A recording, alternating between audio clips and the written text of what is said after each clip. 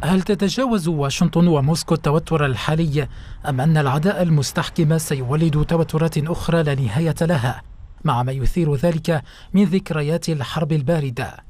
بعد طرده دبلوماسيين وفرضه عقوبات طالت عشرات الأفراد والكيانات الروسية يقول الرئيس الأمريكي إنه أخبر نظيره الروسي أنه يمكن لواشنطن أن تذهب أبعد من ذلك. في مؤشر يعكس مخاوف جدية من أن يتطور التوتر الراهن إلى مواجهة حقيقية بين البلدين.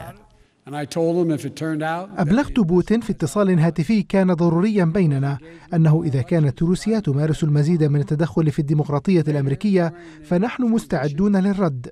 وأبلغته أيضا بأن الولايات المتحدة يمكنها أن تذهب إلى أكثر من العقوبات لكني آثرت ألا أفعل ذلك واخترت التصرف بشكل متناسب. من التوتر الحاصل شرق أوكرانيا واتهامات بمسؤولية روسيا عن مقتل جنود أمريكيين إلى هجوم سبراني واسع طال الولايات المتحدة وألقي باللوم فيه على روسيا فضلا عن مزاعم بتدخلها في الانتخابات الرئاسية. كلها ملفات استندت إليها واشنطن لفرض حزمة عقوبات ضد موسكو شملت طرد عشرة دبلوماسيين. العقوبات تستهدف أساسا القطاع المصرفي الروسي إذ تمنع المعاملات بين المؤسسات المالية الأمريكية مع نظيراتها الروسية كما تحظر على المؤسسات الأمريكية إقراض نظيراتها الروسية ما سيجر اثارا سلبية على الاقتصاد الروسي. وهو ما أثار غضبا في موسكو فهي ترى أن مثل هذه الإجراءات تزيد خطر حدوث مواجهة بين البلدين. الرد على العقوبات لا مفر منه. يجب على واشنطن أن تدرك أن عليها أن تدفع ثمن تدهور العلاقات الثنائية.